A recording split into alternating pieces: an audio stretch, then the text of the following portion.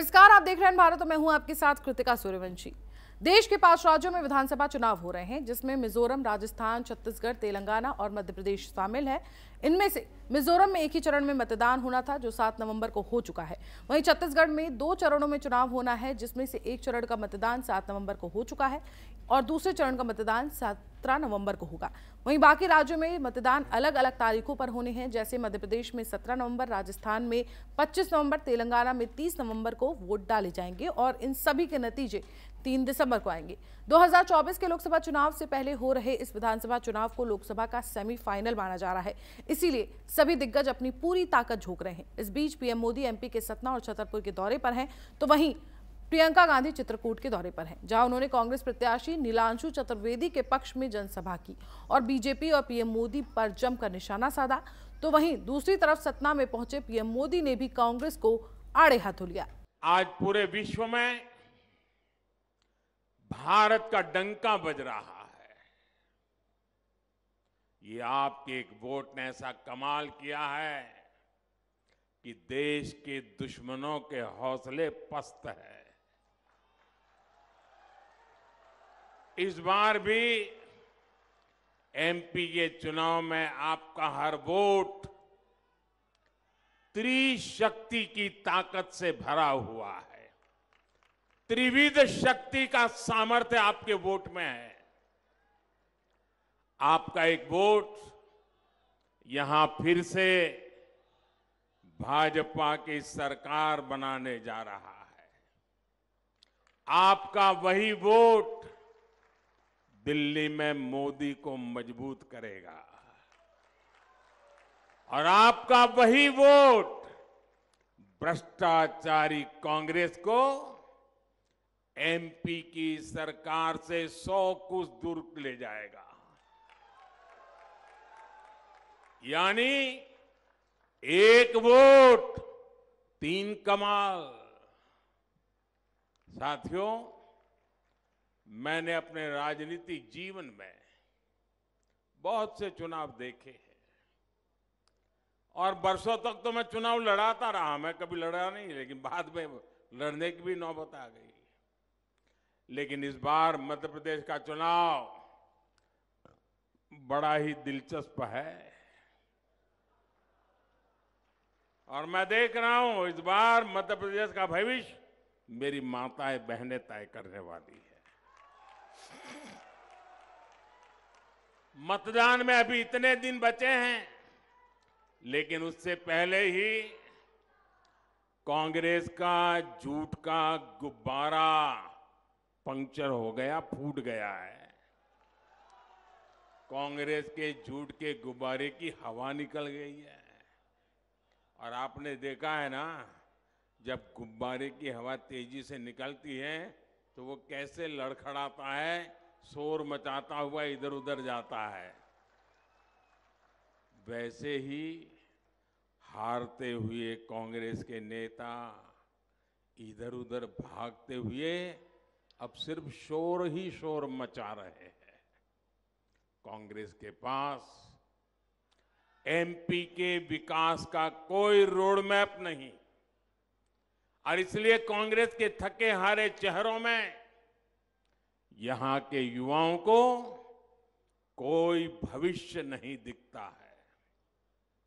इसलिए एमपी को भाजपा पर भरोसा है। एमपी को मोदी की गारंटी पर भरोसा है। और ये भरोसा इसलिए है कि हर देशवासी जानता है कि मोदी की गारंटी यानी हर गारंटी पूरी होने की गारंटी।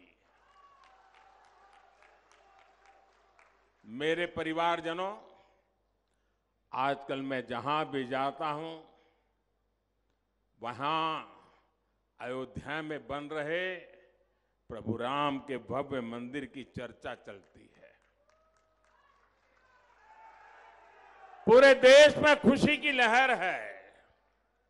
सौभाग्य से भरे इस पावन कालखंड में मेरे मन में एक बात बार बार आती है। मैं ख- स्वयं सोचता रहता हूँ और जो बड़ों से सुना हुआ है, वो बात हर पल मेरे कान में गूंजती रहती है, मेरे मन को आंदोलित करती रहती है। और मुझे तेज गति से दौड़ने की प्रेरणा देती है। और वो बार बार मैं उसका स्मरण करता हूँ, जहाँ कहा गया है, राम काज किने बिनु, मोही कहा विश्राम।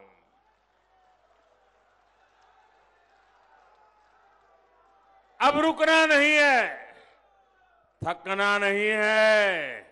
और विश्राम का तो सवाल पैदा ही नहीं होता। यहाँ की भाजपा सरकार को 10 साल तक केंद्र की कांग्रेस सरकार ने हर काम में रोड़े अटकाए। काम करने नहीं दिया, रुकावटें पैदा की। अभी 2014 में ही तो मध्य प्रदेश को डबल इंजन की डबल ताकत मिली है। एमपी को जिस अंधेरे कुएँ में कांग्रेस ने धकेल दिया था, उस अंधेरे कुएँ से भाजपा एमपी को बाहर निकाल पाई है। अब तेज विकास का समय आया है, सबके विकास का समय आया है। दलित, पीड़ित, शोषित, वंचित, पिछड़े आदिवासी, गरीब, नौजवान, किसान, हर किसी को अब उसका हक मिलेगा। मेरे परिवारजनों, गरीब की बहुत बड़ी चिंता होती है कि उसके पास अपना पक्का घर कब होगा। होती है कि नहीं होता है? ज़िंदगी में जिसके पास कोई अता पता नहीं है, उसको एक पता चाहिए, उसे अपना एक घर चाहिए। वो अपने पक्के घर के लिए पाई पाई जोड़ने की कोशिश करता था, पैसे बचाने की कोशिश करता था, लेकिन कांग्रेस के राज में चारों तरफ़ ऐसा भ्रष्टाचार था कि गरीब के पक्के घर का सपना चकनाचूर हो जाता था। भाजपा सरकार ने देश के गरीब के इस सपने को पूरा करने के लिए दिन रात एक कर दिया है। बीते दस वर्षों में चार करोड़ से अधिक गरीब परिवारों को हमने पक्का घर दिया है। मैं जरा आपसे पूछना चाहता हूँ, मैंने क्या कहा? कितने गरीब परिवारों को पक्के घर दिए हैं? कितने? कितने? ये चार करोड़ बहुत बड़ा आंकड़ा होता है। दुनिया के लोग जब मेरे से सुनते हैं ना तो अचरज हो जाता चार करोड़ घर। कई देशों की तो इतनी आबादी नहीं होती है, जितने हमने घर बना दिए हैं। और साथियों, हम तो भक्ति में डूबे हुए लोग हैं। और इसलिए जब भव्य राम मंदिर बनाते हैं तो वो भी उसी भक्ति से और चार करोड़ गरीब के घर बनाते हैं, वो भी उसी भक्ति से बनाते हैं। हम लोकतंत्र का भव्य मंदिर, नया संसद भवन बनाते हैं। तो हम तीस हज़ार पंचायतों के भवन भी उसी संविधान की संश्रद्धा के साथ बनाते हैं। और मुझे खुशी है कि भाजपा की डबल इंजन सरकार होने के कारण एमपी उन राज्यों में से एक है जहाँ गरीबों के लिए लाखों घर बनाए गए। यहाँ सतना में भी हज़ारों गरीब परिवारों को पक्का आवास मिला है। एक लाख बत्तीस हज़ार। देखिए, हमारा गणेश जी कह रहा है।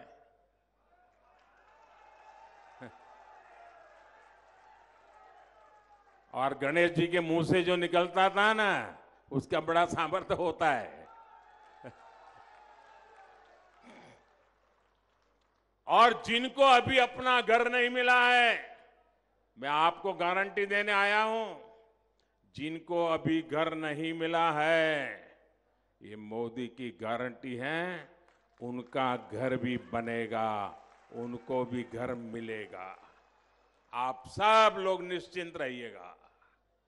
मोदी ने आपके पक्के घर के लिए पहले ही पैसे का इंतज़ाम करके रखा है।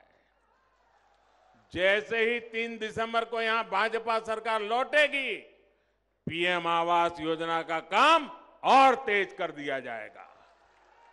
हर गरीब परिवार को पक्का घर मिलेगा। ये मोदी की गारंटी है। घर मतलब सिर्फ़ चार दीवारी नहीं, जब मोदी घर देता है ना तो सारे सपनों को पूरा करने का आशियाना भी देता है। कि 2018 में आपने एक सरकार चुनी। लोकतंत्र है इस देश में। जो सरकार आपने चुनी, वो आप ही की बनाई हुई सरकार थी। और जिस तरह से यही रावण ने भगवान राम और भगवान लक्ष्मण के साथ छल किया, उस तरह से आपके साथ भी छल हुआ। कुछ बहुरूपियों ने छल कपट करके आपकी सरकार का अपहरण किया। आपकी सरकार चोरी की। मतलब चोरी कर ली। आपका लोकतंत्र चोरी कर लिया। और उसे भ्रष्टाचार लोक में ले गए। अब उसे वापस कौन लाएगा? अगर आप हनुमान नहीं बनेंगे आज के दिन में तो यहाँ से जो छल शुरू हुई आपकी धरती से, जो छल शुरू हुई जिसकी वजह से आप साढ़े तीन साल और एक ऐसी सरकार को भुगत रहे हैं, जिसे आपने चुना ही नहीं, जो खरीद फरोश से बनी है, रिश्वतखोरी से बनी। अगर आप इस स्थिति को ठीक नहीं करेंगे तो कौन करेगा? आज इस मौके पर अगर आप हनुमान जी की तरह खड़े नहीं हो जाएँगे और आप अपने लिए ये लड़ाई नहीं लड़ेंगे तो कौन लड़ेगा? देखिए ये जो असूल, जो परंपराएँ रामायण के समय से हमारे देश में चल रही हैं, उनको आप सब अच्छी तरह से समझते हैं। आप जानते होंगे कि महात्मा गांधी जी के जो के जो असूल थे, जिन पर आज़ादी की लड़ाई लड़ी गई, वो भी यही असूल थे। जब महात्मा गांधी जी को गोली लगे, लगी और वो ज़मीन पे गिर गए तो उनके मुँह से क्या लफ्ज निकले? हे राम हे राम हे राम। क्योंकि महात्मा गांधी जी उन्हीं असूलों पर जिए, जिन पर श्री राम जी जिए थे। अब आप सोचिए, भगवान राम के पिताजी ने उनका बनवास कराया। ठीक है, वो बनवास में चले गए। बनवास में चले गए, लेकिन उनके प्रति जो जनता के दिल में श्रद्धा थी, वो कम हुई। बताइए, कम हुई कि और भी बढ़ गई? और भी बढ़ी ना? क्यों? क्योंकि भगवान राम के चरित्र में जनता ने ये देखा कि इनके दिल में हमारे प्रति श्रद्धा है। तो जब भगवान राम का वनवास हुआ और वो जंगल भेजे गए, तेरह वर्षों के लिए जंगल में रहे, फिर भी जनता ने उनमें श्रद्धा रखी। फिर भी जनता चाहती थी कि वही बने हमारे राजा। फिर भी जनता ने इंतज़ार किया। तेरह साल इंतज़ार किया जब तक वो वापस आए। और जब वापस आए तो दिवाली पर इतनी खुशी मनाई कि आज तक हम उस खुशी को मनाते हैं। और आज तक हम याद करते हैं कि किस तरह से झूठ को सच्चाई ने पराजित किया, किस तरह से छल को पराजित करके भगवान राम वापस आए और भगवान राम गद्दी पे बैठे। तो ये एक बहुत पुरानी परंपरा है हमारे देश की। और जब हम राजनीति की बात करते हैं, बहनों और भाइयों तो हमें हमेशा नेता में, राजनीतिक दल में राजने नेता के व्यवहार में सरकार के व्यवहार में ये जो असूल हैं ये ढूँढने चाहिए। हमें समझना चाहिए कि जो हमारे हम जो राज कर रहे हैं उनके दिल में क्या है हमारे लिए। क्योंकि देखिए जब गांधी जी ने आज़ादी की लड़ाई लड़ी और सिर्फ़ उन्होंने नहीं लड़ी आपके पूर्वजों ने भी लड़ी उनके साथ। आपके दादा दादी ने आपकी नानी ना, नाना नानी ने मेरे दादा दादी ने सबने लड़ी है आज़ादी की लड़ाई। सबने खून दिया अपना। जो था वो दिया। मैं छत्तीसगढ़ गई थी अभी, कुछ दिनों पहले। तो वहाँ मुझे पता चला कि वहाँ की महिलाओं ने अपने जेवर दिए थे आज़ादी की लड़ाई के लिए। तो सबने, जो भी देशवासी है आज, जो ज़िंदा है, उसके किसी न किसी पूर्वज ने ये आज़ादी की लड़ाई लड़ी। तो उनके प्रति प्रति भी जो हमारी श्रद्धा है, वो यही बताती है कि हमें जो अपनी देश और प्रदेश की राजनीतिक परिस्थितियाँ हैं, जो अपने जीवन की परिस्थितियाँ हैं, उन्हें समझने की बहुत ज़रूरत है। जब तक हम ठीक ढंग से समझेंगे नहीं तो हमारा वोट ठीक जगह जाएगा नहीं। अब आप देखिए, कोरोना का कहर था। आपके यहाँ से स्वास्थ्य मंत्री थे। थे? कौन थे? सिलावट जी थे। कोरोना चल रहा था। कोरोना के समय सिलावट जी कहाँ थे? किसी को याद है? बैंगलोर के एक रिजोर्ट में थे। क्या कर रहे थे? सौदेबाजी कर रहे थे। किस चीज़ की सौदेबाजी कर रहे थे? आपकी सरकार की। कर रहे थे कि नहीं? स्वास्थ्य मंत्री थे। उनकी ज़िम्मेदारी थी। कोरोना चल रहा था, तबाही मच रही थी। हर जगह आप ऑक्सीजन के लिए तरस रहे हैं, वो बैंगलोर में बैठे सौदा कर रहे हैं। उनकी ज़िम्मेदारी थी, जब वो शुद्ध के लिए युद्ध का जो आपने छेड़ा था, कमलनाथ जी, नारा कि मिलावट रोकनी है। सिलावट जी क्या कर रहे थे? सरकार में मिलावट लाने की बात कर रहे थे। तो अच्छा हुआ चले गए। अच्छा हुआ चले गए। क्योंकि ऐसे नेता जो आपके जनमत को, पैसों के, पैसों और धन को इस्तेमाल करके आपके जनमत को बिगाड़ कर एक ऐसी सरकार ला सकते थे आपके प्रदेश में जो आपका नुकसान करे अच्छा है, दूसरी पार्टी में चले गए। और शायद अगर आप अपना वोट विवेक से देंगे तो और अच्छा होगा, वो थोड़ा सा सबक भी सीख लेंगे।